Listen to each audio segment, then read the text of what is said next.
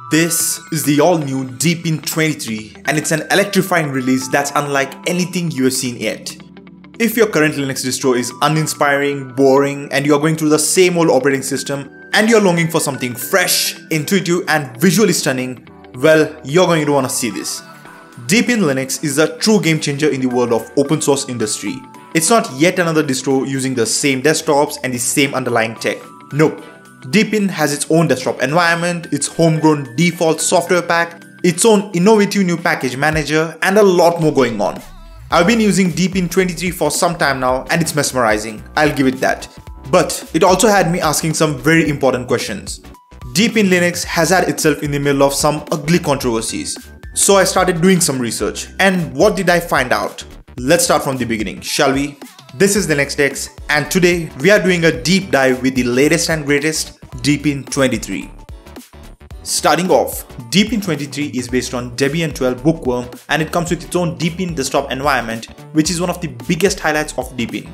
Deepin, unlike most other Linux distros, does not share the same desktop or default applications as most other distros. Deepin developers have created an exclusive suite of default applications like the browser, software store, and many other components, especially for Deepin. And this results in a very unique experience. Experience starts with user interface, and the user interface here is created to impress at first look. Deepin desktop environment is a premium rush that looks stunningly gorgeous. It comes in two modes, a beautiful mode which looks very similar to macOS and an efficient mode which takes the Windows role. Yeah, the developers are targeting two birds with a single stone here. In both modes, the desktop looks very polished. Aesthetically, Deepin Linux is very beautiful. The attention to the details is apparent and you really start enjoying working with Deepin. The application menu too has two modes, an expanded layout which looks like the GNOME app grid and a compact one which takes the Windows route. So whatever your UI preferences are, Deepin lets you configure it to suit to your liking easily. Deepin Desktop is built using the Qt toolkit, the same as KDE Plasma and some similarities, especially how different UI elements exhibit transparency are present here. We also get a notification center here which is beautifully made. We can also place widgets there. We don't have many widgets to choose from right now, but this resource monitor is pretty slick. Deepin's application theme is one of the finest. You can see how the applications here look so uniform and refined. The file manager and the settings app here are Deepin exclusive apps and they both are so well made. Deepin's theme makes all the applications feel like they belong here. We also get in-depth customization options here. There is a set of pre-configured looks which bring their own unique variations here. Then there's a system-wide dark mode which completely revamps how the system looks. It's super glossy and makes the screen look very expensive. Yeah. There are 9 pre-selected accent colors which you can use to make the system look more personal. These colors splash onto your apps very nicely. You can also go ahead and pick your own custom color, but I found the pre-selected colors pretty neat in themselves. There are also some additional customization options in the desktop section. Overall, Deepin is a very premium desktop experience. It's very different from what we are used to, that's for sure. While the design language does borrow elements from the eastern side, the overall result is pretty amazing. It feels fresh. Check out my course Linux Mastery Express, which is the fastest way to level up your Linux skills. I'll teach you a set of commands that will give you the confidence to use Linux without even a graphical interface. Then we'll dive deep and learn how to use the V-Editor and master shell scripting with real examples. After teaching more than 100 students in person, I've curated the top things that will level up your Linux knowledge the fastest. The things that will make the most difference. So if you're feeling like your Linux game is stuck in the same spot for too long and you're ready to take your Linux skills to the next level quickly, check out the link in the description below and get your Linux mastery right now. The software availability on Deepin 23 is quite interesting. Deepin is based on Debian, so the core packages are managed by the APT Package Manager. Deepin brings its own Linglong Package Manager to handle additional apps. Deepin lets you install Linux, Windows and Android apps without the need to install or configure anything extra. Yeah, Windows and Android apps too work here. We have Windows and Android apps in the App Store and they come packaged along with Wine or Android runtime packaged with the apps. Let's open the App Store here and it looks great out of the box. The design style looks inspired by iPad's App Store and looks very clean. Yeah, we do get to see a lot of Chinese characters here because Deepin's primary audience is Chinese. Let's go over that for a second and have a look at what apps are available here. We do see some familiar names here, and we can browse through different lenses using the pages on the sidebar. Let's quickly jump to programming, which I'm interested in checking out. And we see many IDEs here. We see Android Studio, Goland. Now these are not available in Debian repositories, but Deepin has brought them to you through its own repositories. You can see names like Google Chrome, Visual Studio Code, and few other items which are brought in additionally here. But yeah, primarily it's apps that the Chinese audience would resonate with the most that are found here. We can see big names like WeChat, QQ, WeCom, and Tencent software here. Most of these apps are Windows apps and they don't have Linux clients, so they are running with Wine package here. Now I couldn't search for and install many software that I use from the store here. Neither could I install them using the apt command. I'm using Deepin 23 preview version for this video, so that might be causing the issue. I'll check again once when the stable release hits the shelves. We get the deb package installer here which lets you drag and drop .deb package to install them. I like this, as it's a convenient option for users who are not based in China. Speaking about the software store, I want to see more apps from Debian repositories here and even the option to filter out non-English apps here. But for Chinese users, many of their major apps are here which are running either through a Wine package or Android version.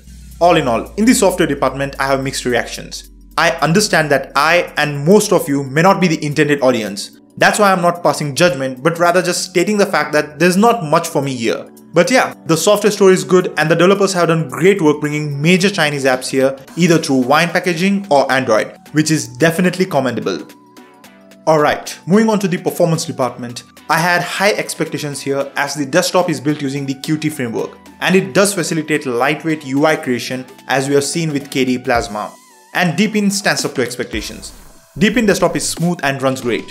Deepin automatically installs NVIDIA proprietary drivers, so working with the system was fluid smooth for me. App opening and switching was pretty smooth. But if you have older or low power devices, Deepin desktop starts to show struggle. You will notice stutters now and then, although very subtle. Deepin does make generous use of desktop effects. For example, have a look at the dynamic transparency here on the menu panel. While this is completely fine on even moderately powerful hardware, lower end computers will struggle. You can go ahead and turn off the desktop effects, but that kinda takes the fun off of Deepin. But yeah, turning off the effects is definitely helpful with regard to performance on older devices. On heavier tasks like gaming, rendering and compiling, Deepin performs good, but at times, you will see a difference when compared to something like Ubuntu. While gaming, I did feel like I was getting a lower FPS compared to Ubuntu. Deepin automatically installs NVIDIA drivers during installation. That's a huge plus point as I feel that many people are going to find it difficult to do it manually here. In the performance section, Deepin performs satisfactorily. I don't have any complaints, but there's nothing to write home about either. But if you're using a laptop, then Deepin delivers noticeably improved battery life compared to other distros. This might have something to do with the Deepin scheduler or the hardware enablement kernel that they use. But it's definitely a positive point for most people. Deepin is Debian based and it has some very good stability policies placed to ensure an impeccable user experience. The user applications, the system, and the kernel are all isolated from each other to provide a heightened system reliability. And its new Linglong package format installs isolated applications which are containerized. Linglong is a new independent package management toolset developed by Deepin. Just like other unified package managers, Linglong is designed to solve various compatibility problems caused by complex package formats and cross dependencies in Linux, as well as to reduce security risks. Linglong manages applications, runtimes, and libraries in layers. This allows applications to be independent of each other and the system, which improves compatibility as well as security. Linglong also uses a sandboxed environment to run applications, which further isolates them from the system and prevents them from causing any damage. Deepin is based on Debian 12. Debian has a very strict package and integration testing process that ensures everything works together smoothly and harmoniously. This means any package you install will work flawlessly without any issues. The reliability that you get with Debian, no other operating system under the sun can match. And this one thing can be a huge point in day-to-day -day usage. Deepin builds on this amazing base to capitalize on this dependability. Deepin also comes with Linux kernel 5.18 but with hardware enablement. This means we are getting a well-tested and stable kernel but with support for newer processors, Wi-Fi cards and a lot more. I'm a big fan of hardware enablement kernels because they sometimes solve the Wi-Fi card, Bluetooth driver, graphics driver, and other compatibility problems that many in the desktop Linux face. It also brings support for the latest Intel processors.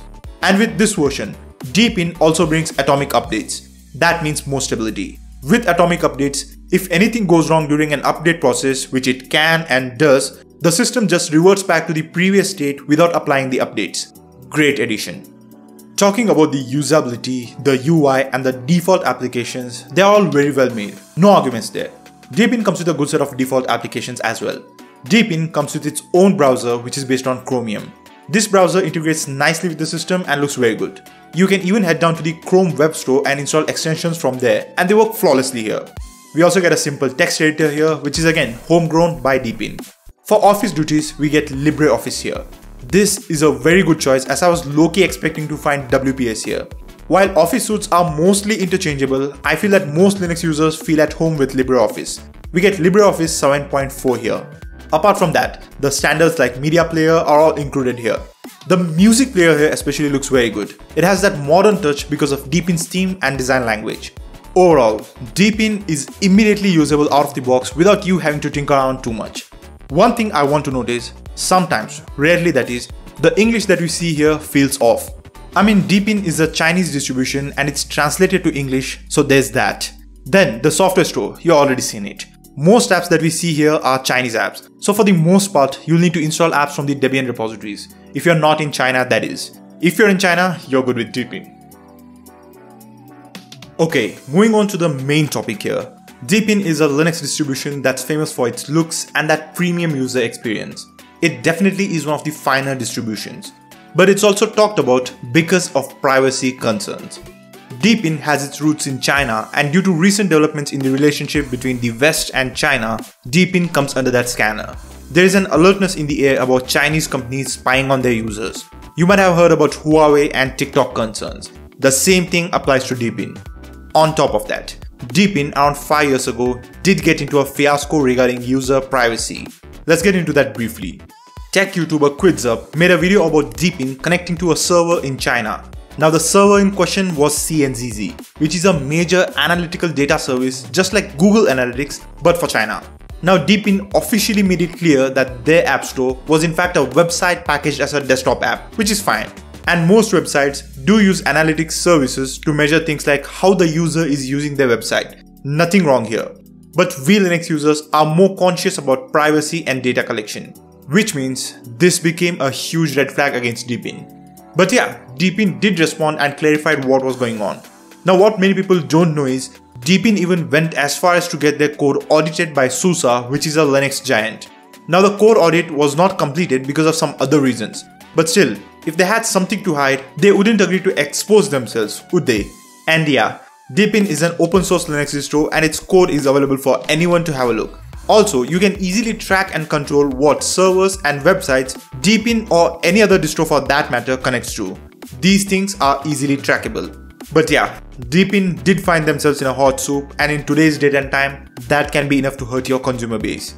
That's the story of Deepin's debacle with privacy to use or not to use it. I'm gonna leave that to you.